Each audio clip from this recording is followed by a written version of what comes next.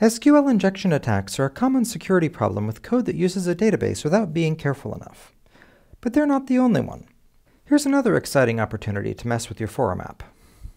Copy the text from the instructor notes and put it into a forum post, like so, and hit the post button. Oh no! Spam! And more spam! And even more spam! Where is all this spam coming from? Every time the forum page loads, our web browser is submitting spam messages back into the forum. Remember back in Lesson 1 when I asked you to think about the meaning of data in particular columns? Well, here's a case where that's not an abstract concern at all. The forum program is treating each post as if it's just a piece of text.